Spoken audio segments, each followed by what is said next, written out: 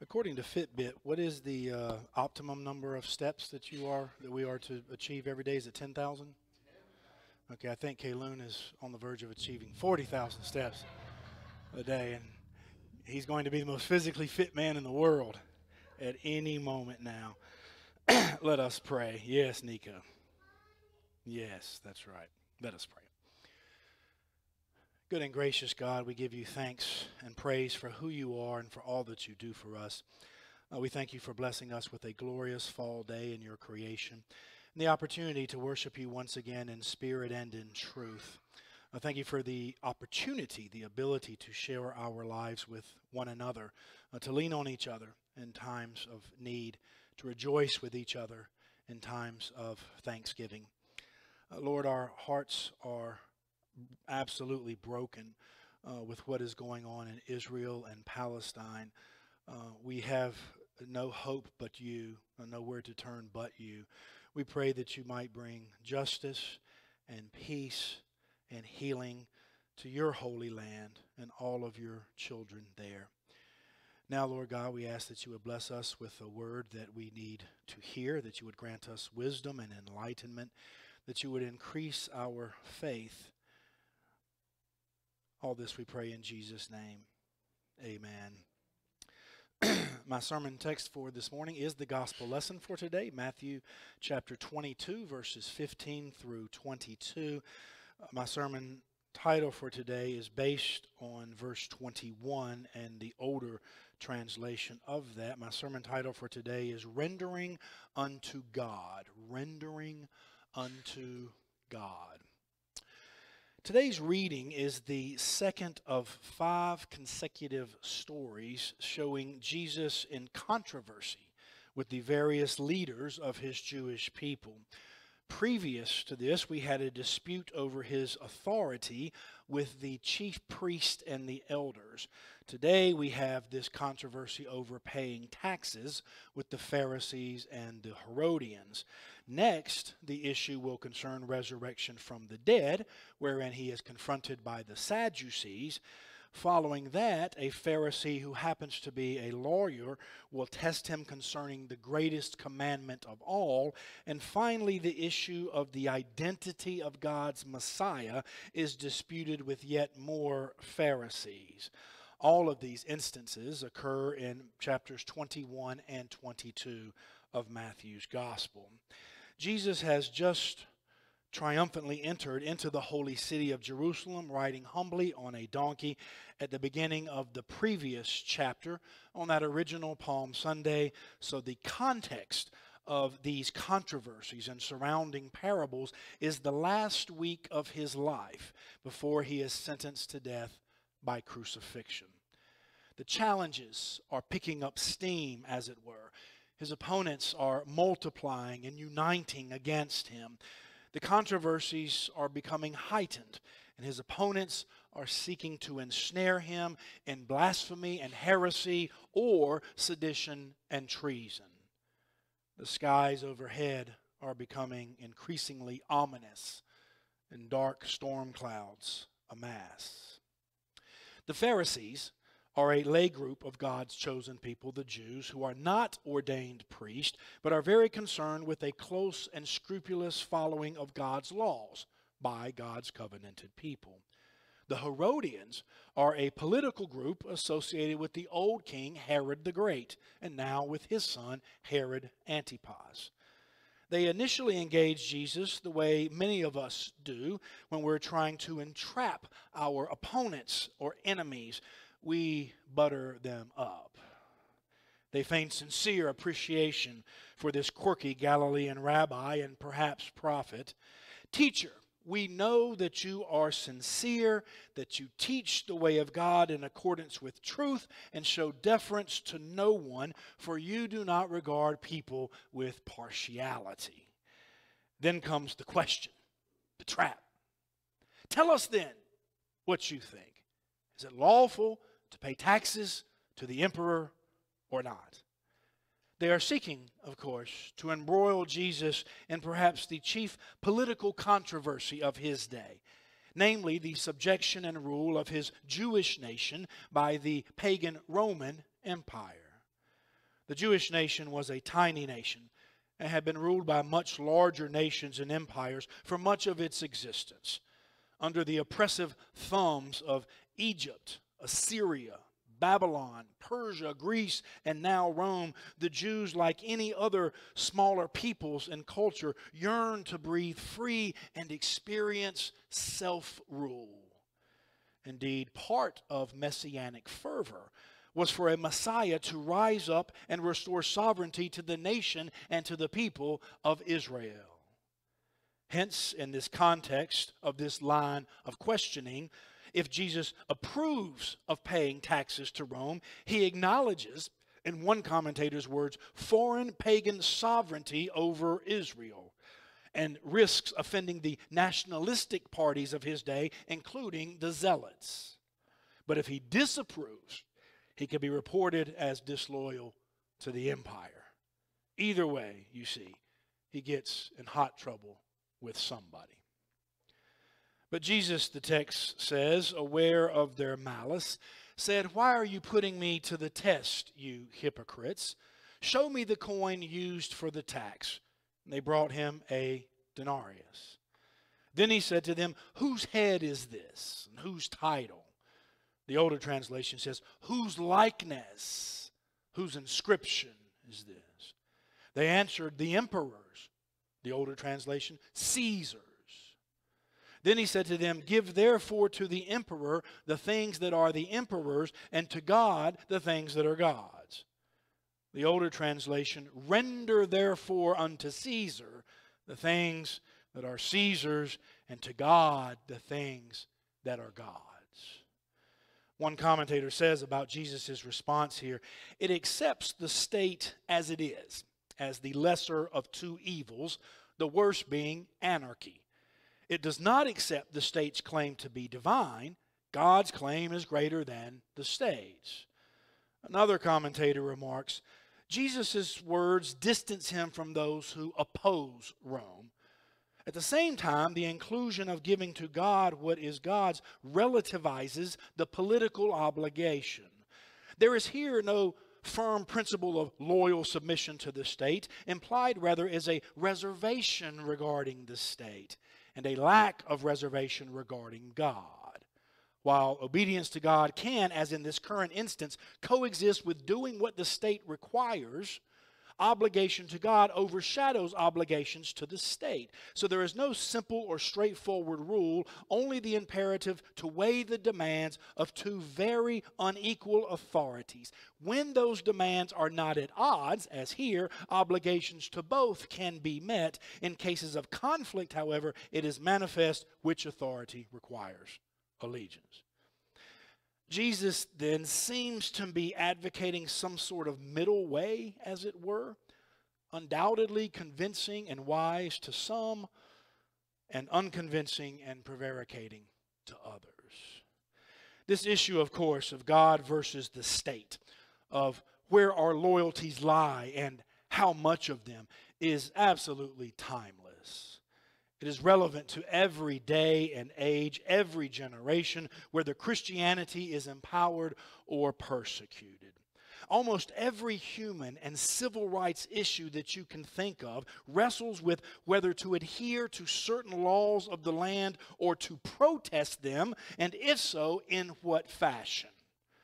Think of the civil rights movement, abortion or reproductive health issues, Black Lives Matter, the Moral Monday movement, transgender bathroom usage, and sports issues, just to name a few.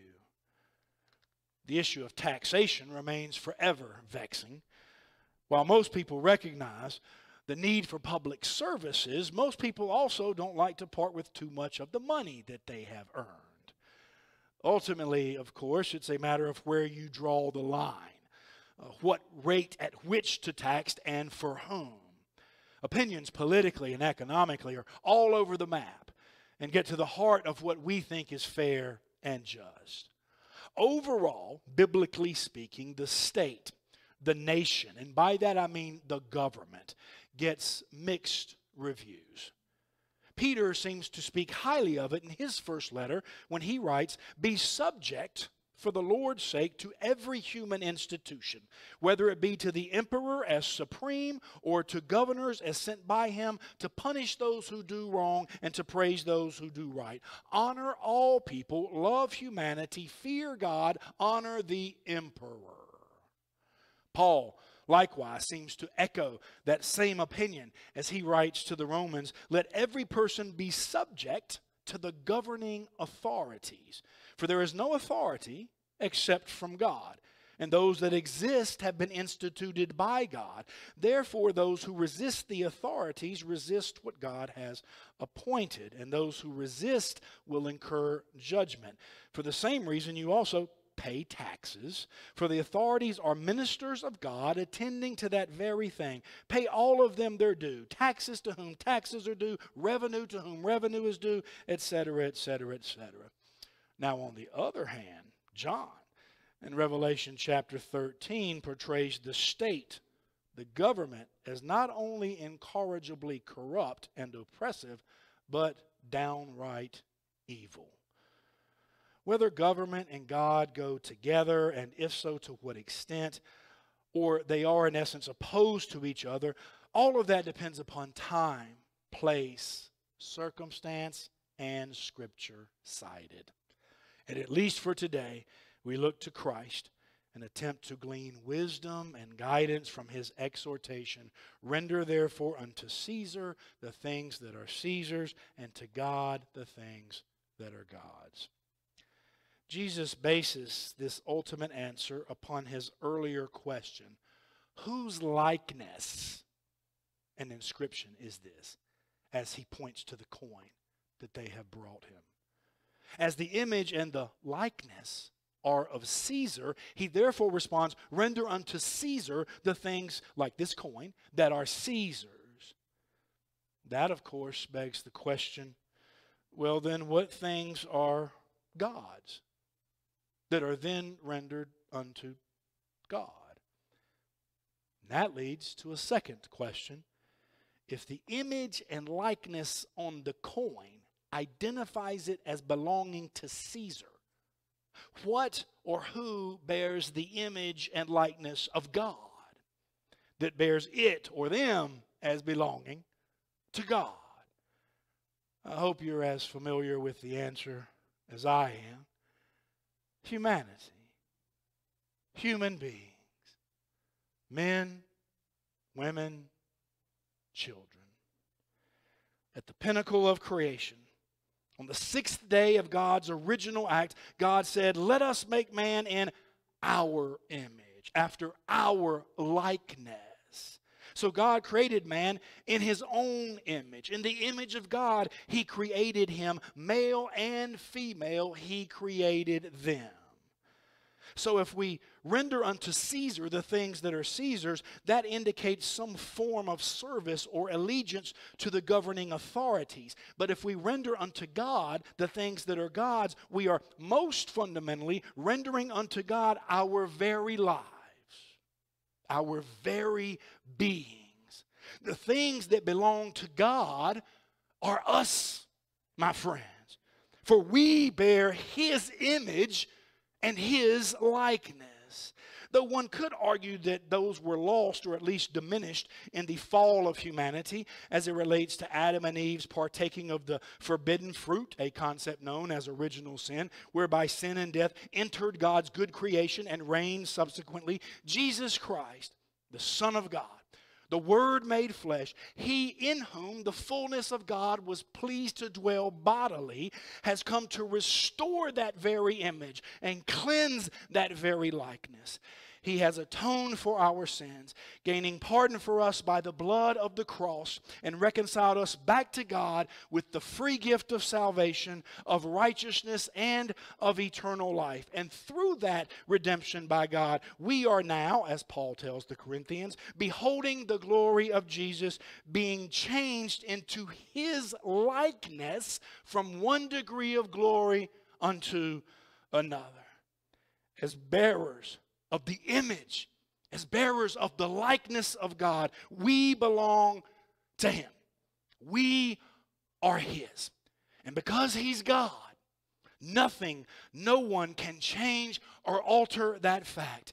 Neither death nor life, neither things present nor things to come shall ever be able to separate us from the love of God in Christ Jesus. Our lives are His, our times are His, our breath is His, our heartbeat is His, our love is His, our gifts and talents are his. Our money, though a portion will always go to Caesar, is his also. In him we live and move and breathe and have our very being. All that we are, all that we have come from God. Our lives, our unique fingerprints, the numbers of hairs on your head, our lives' trajectories and family and friends and jobs and careers are all stamped with the image and emblazoned with the likeness of him who said, Let there be light, and there was light. Of him who said, Let my people go, and then parted the Red Sea. Of him who said, In me you have peace.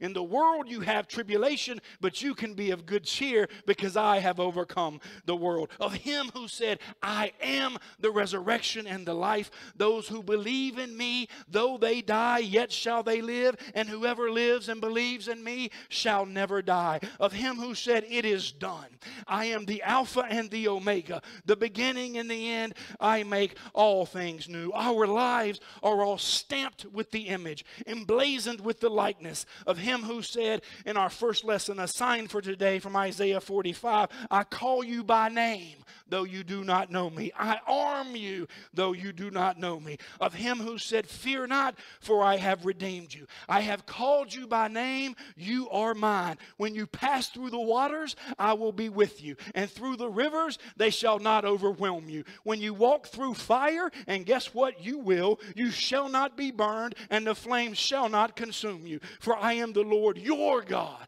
the Holy One of Israel, your Savior. Our lives are all stamped with the the image, emblazoned with the likeness of him who said, I have borne you from your birth, I have carried you from your womb. Even to old age, I am he, and to gray hairs, I will carry you. I have made, and I will bear, I will carry, and I will save. Of him who said, A thousand may fall at your side, ten thousand may fall at your right hand, but it will not come near you. Of him who said, No one shall ever snatch you out of my hand. Aren't you glad, my friends, that that's our image and our likeness, that that's our destiny. Aren't you glad that He is our God and we are His children? And aren't you glad that we can therefore render unto Him, render our praise, render our thanksgiving, render our gratitude, render our appreciation, render our humility, render our service, render our worship, render all that we are